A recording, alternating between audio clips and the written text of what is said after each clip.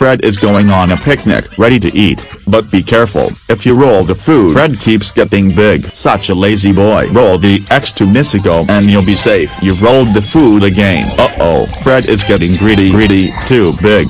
He goes pop and, surprise, he loses his trousers. Greedy Fred from Cartoon Kid Toys.